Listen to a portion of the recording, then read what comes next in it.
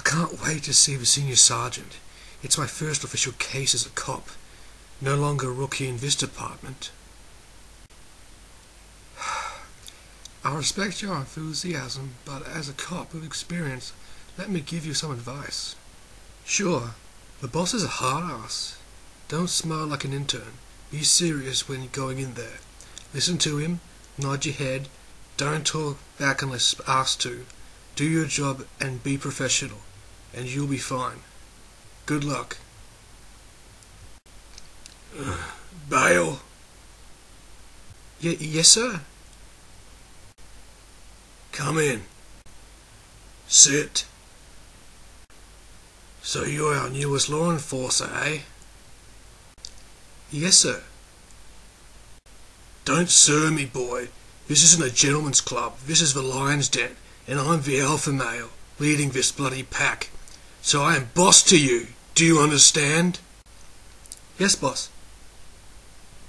Good. Here. Shh. Uh, this is your assignment. We have had reports of a stranger hanging around a park full of school kids.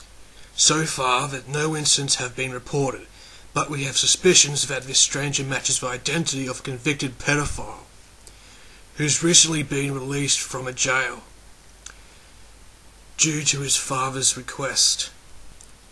Any leads to where this guy lives? There is a lead that this guy lives in an apartment block not far from the park. We don't know the unit number, so that's where you come in. Find where this guy lives. Got it, boss. I won't let you down. Never promise something you can't guarantee, son.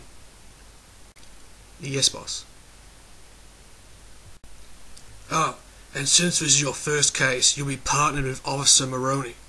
Maroney! You called Frankson? Frankson?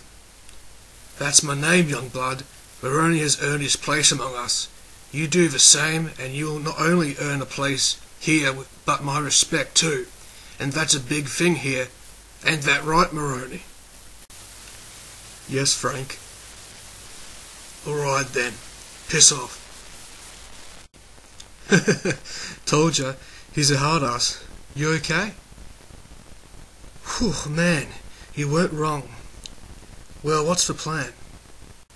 Okay, well we know the location of the park and the area where this freak lives, but we still need an address. Alright, let's head to the park.